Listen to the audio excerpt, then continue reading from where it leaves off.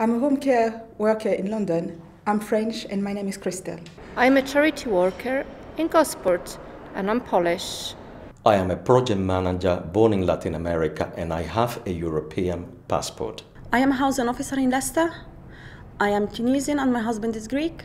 I have applied and I've been granted settled status. I have been granted a settled status and now I'm thinking about applying for British citizenship. My husband has applied for his EU settled status and I've joined my application to his. If there is no Brexit deal, you have until the 31st of December 2020 to apply for settled status. If there is a deal, you've got until the end of June 2021 to apply for settled status. Unison is here to support you and your colleagues. I need to apply for settled status in the UK to secure my stay after Brexit.